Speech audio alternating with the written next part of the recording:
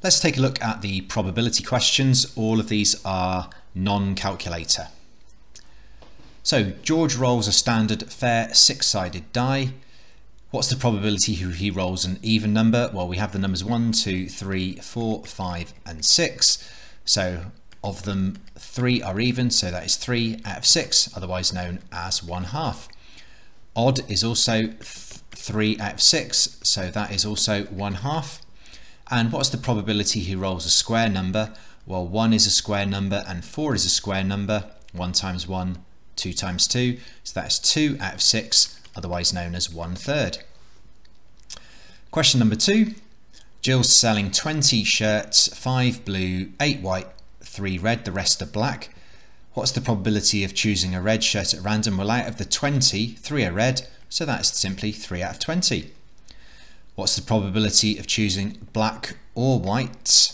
So we know that 8 are white. We need to work out how many are black first of all. If there's 20 in total, 8 plus 3 is 11, plus 5 is 16, so 4 must be black. So black or white is going to be 8 plus 4, which is 12 out of 20, otherwise known as 6 out of 10, otherwise known as 3 out of 5. But I believe the answer 12 twentieths is accepted. Question three, Brandon's three types of sandwiches, six ham and cheese, 10 BLTs and four tunas. So in total there are 20 sandwiches. So the probability of picking a BLT is 10 out of 20, which is the same as 1 out of 2, a half. If he picks one at random, what is the probability he chooses a BLT or a ham? So BLT or a ham and cheese is um, 16 out of the 20, so the probability is 16 out of 20, otherwise known as 8 tenths or 4 fifths. Question number 4. Alicia has a box of newborn puppies. What's the probability she chooses a black Labrador? Well, in total, we're talking about 3, 7, 8. So of the 8, how many are black Labradors? 3. So the probability is 3 out of 8. And the Golden Retriever is just one Golden Retriever, so that is one eighth. Question number five. So we know that in total Zachariah has got 40 marbles in total. So the probability of grabbing a red is 30 out of the 40, which can be broken down to three quarters. And the probability of uh, white is, um, well, zero because there are, um, she only has 30 red and 10 blue. So the probability she grabs a white marble is zero. Question number six. So there are 37 numbers available, there's a green zero and the rest are red and black. So what's the probability of getting a red number? So it's not 50-50 because of this uh, irritating one green one. So um, out of the 37, if we if we get rid of the green zero, that means there's 36 numbers left and they are split evenly red and black. So 36 divided by 2 is 18. So the probability of getting a red number is 18 out of 37. 6B, an American roulette wheel has 38 numbers, so it's got an extra green one, which is the double zero.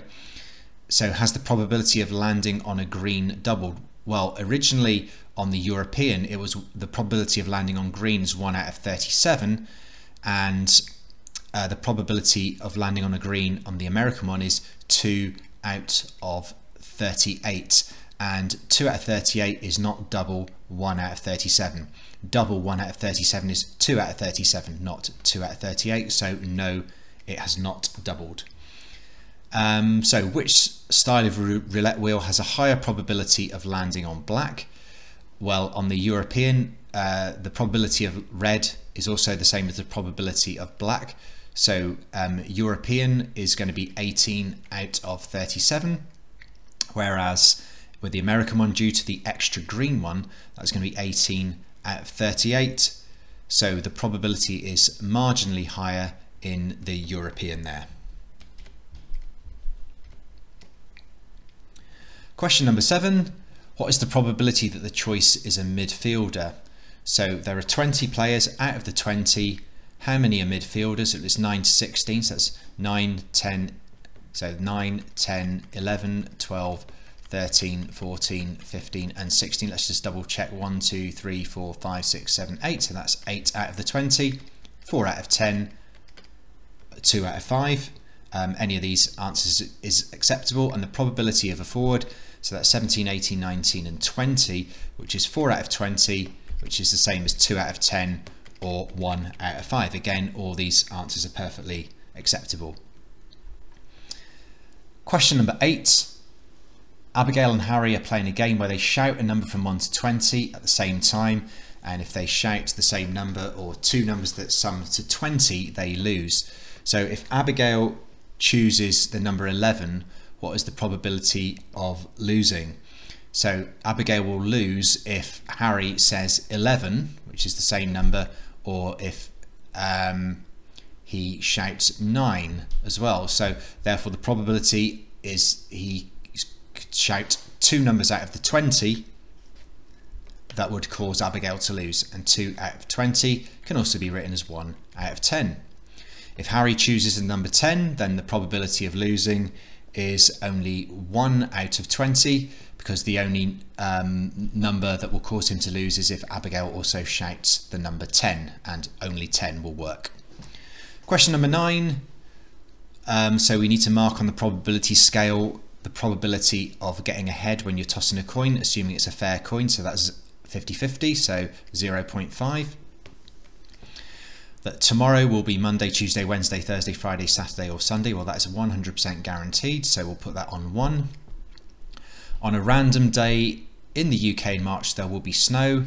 Uh, well, I suppose we, we don't get an awful lot of snow in the UK. So I, I know we, if we're going to get snow, it's a good chance it's going to be in March. But generally, there are fewer snowy days than there are uh, non-snowy days. So I would probably mark this anywhere. You know, it's not like it has to be exactly this spot. Anywhere sort of in this vague area, I'm sure will be acceptable. Perhaps even if you stretch that a bit more. Uh, dinosaurs come back to life. Uh, I would say that is impossible. Some people might argue it's perhaps there's a minuscule chance in which case you could maybe move the arrow you know, a, a quarter of a millimeter to the right perhaps, but I think that should be firmly on zero. And on any given day in November, there will be rain in your town. Well, I'm say that's not 100% certain, but it's pretty close. So I would say put it as tight to the one as you feel is um, um, acceptable. It's definitely much closer to one than it would be to 0.5, that's for sure.